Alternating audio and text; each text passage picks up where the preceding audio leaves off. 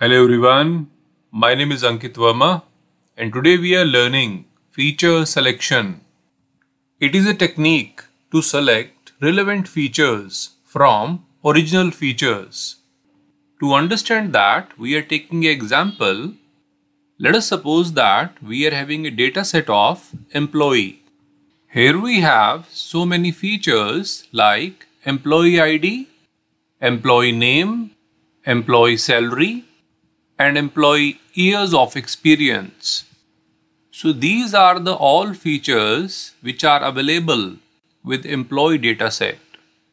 Now let us suppose that the HR department of company want to create an algorithm in which they want to increase the salary of all the employees based on their experience. And to train the model, they need some features. Here, salary is the important feature and experience is the important feature. Employee ID is not required and the name is not required. Because to increase the salary, we need the current salary and the years of experience. So these two are the selected features. So by these selected features, now we can train the model very easily. So here feature selection means selecting the relevant features means which are important for the algorithm from all the original features. Next is feature selection remove redundant, irrelevant or noisy features. Here, the redundant means the features which are in duplicacy. Irrelevant means the features which are not important for the algorithm. Noisy means the features which are creating overhead. So these all features which are not required, they will be removed by feature selection technique. Now we are discussing the advantages of feature selection techniques. The first is they reduce dimensionality of feature space. Here the dimensionality means what are the features available in feature space. So it will reduce those features.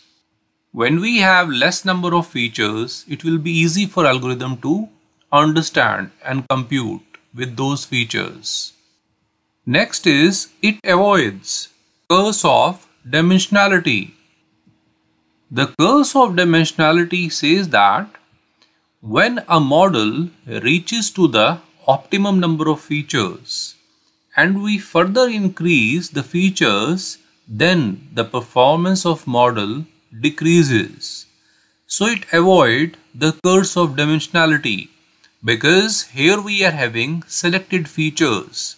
We are not going to increase multiple features. Next is speed up learning algorithm. Here the features are selected which are very less as compared to all the features.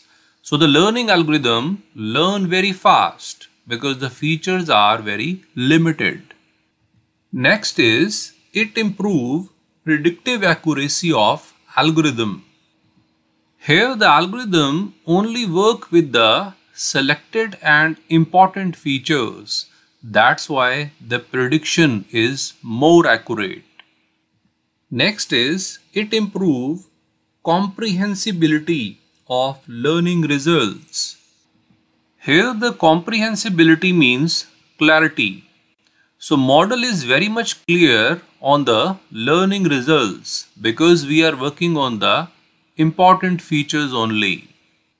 Next is it improve performance of model.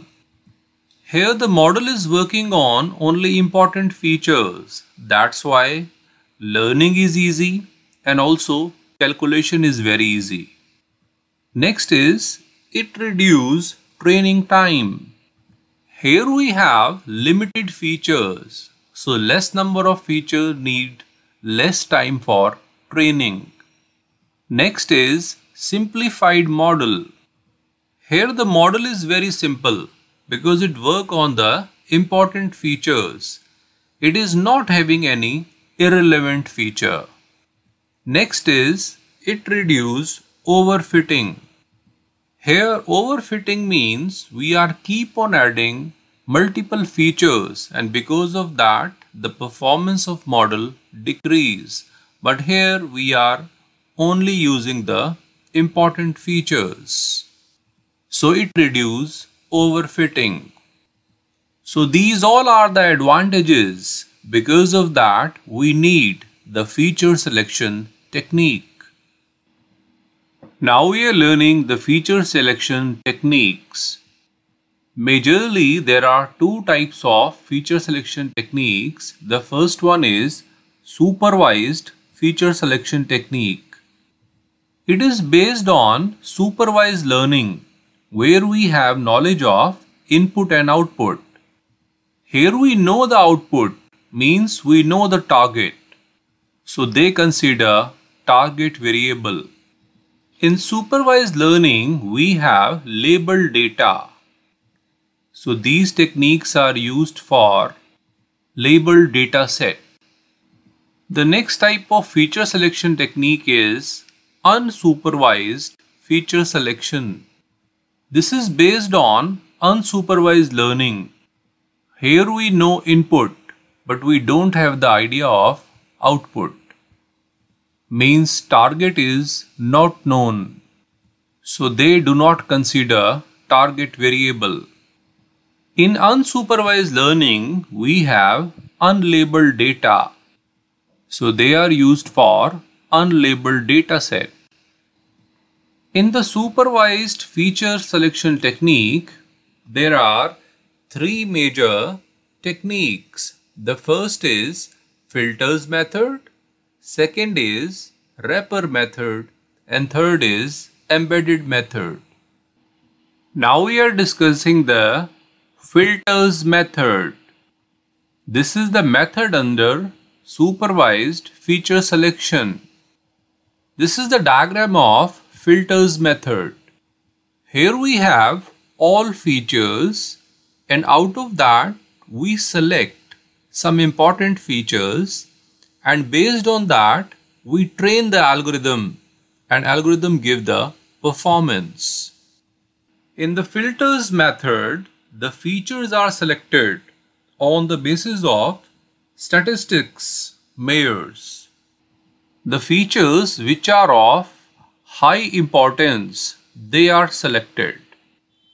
The filters method don't depend upon the algorithm. Here, they select the feature and provide to the algorithm and afterward they do not ask anything from the algorithm. In filters method, they choose features in pre-processing step. Here, pre-processing means before processing. The algorithm process the dataset. But here, the features are selected before they are processed by the algorithm and afterward there is no concern with that. Next is the filters method filter out irrelevant feature using ranking. Here it gives rank to all the features based on their importance and the feature which are most important based on the rank are selected. Now we are learning the advantages of filters method. The first is it needs low computational time. The filters method is very simple and works step by step. So there is very less computational time. Second is it does not overfit. Here overfit means we are keep on adding features and because of that model become inefficient. But that is not the case here because we are only using the selected and important features. There are various techniques under filters method which are missing value, information gain, chi-square test and Fisher score. So that is all about the filters method. Next is wrapper method. This is the method under supervised feature selection technique. And here is a diagram for wrapper method. Here we have all features and out of that we select the important features and we provide these features to the algorithm. Now with the algorithm we take the feedback and based on that we update the features. Here we can add the features and delete the features and again we check the algorithm and afterward algorithm give the performance.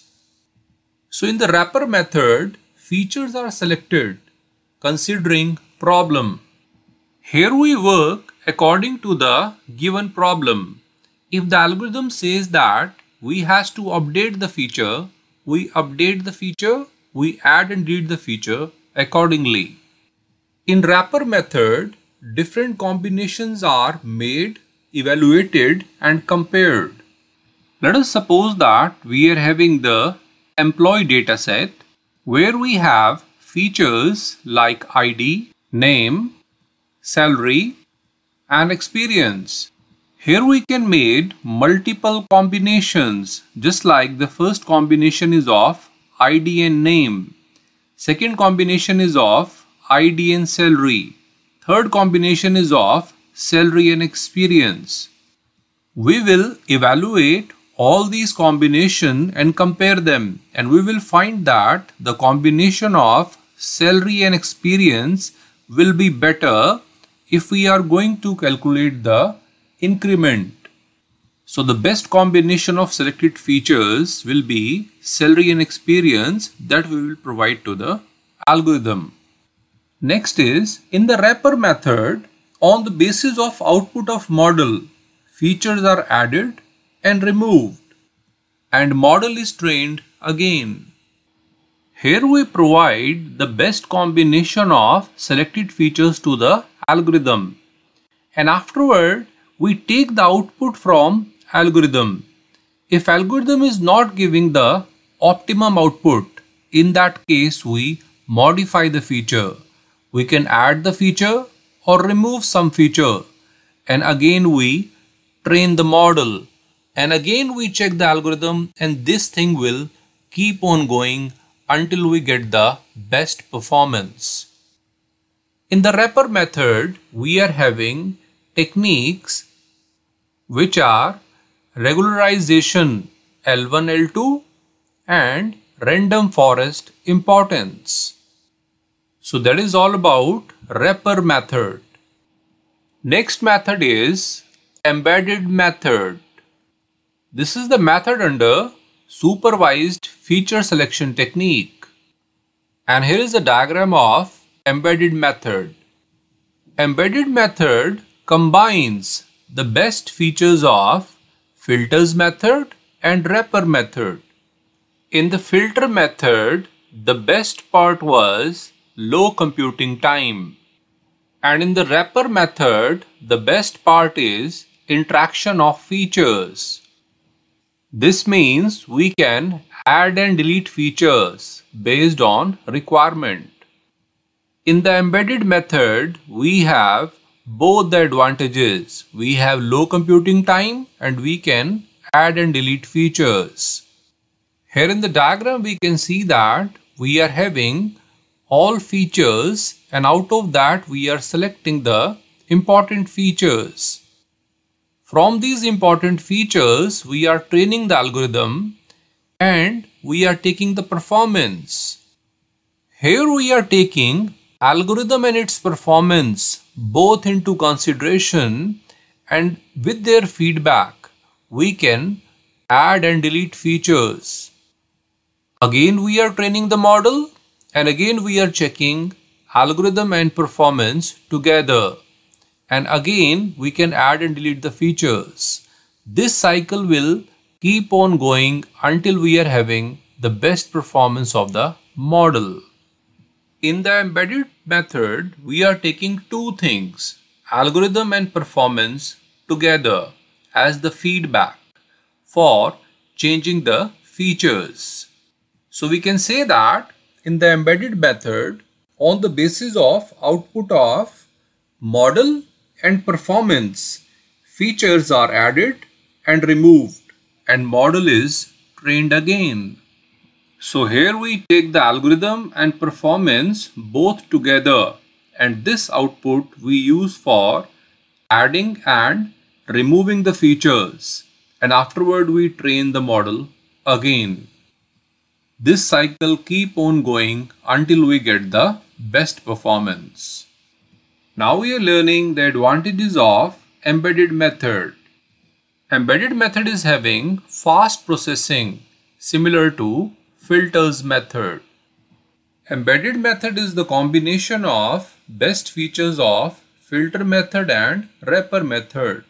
From filter method we have low computing time and because of that it is having fast processing. Next is embedded method is more accurate than filter method. Embedded method also take the best features of wrapper method in which interaction of features are there. That means we can add and delete feature based on the feedback and because of that it becomes more accurate. So that is all about embedded method. In the embedded method, we are having various techniques which are forward feature selection, backward feature selection, exhaustive feature selection and recursive feature selection. So these all are the feature selection techniques. That's all for today. Thank you.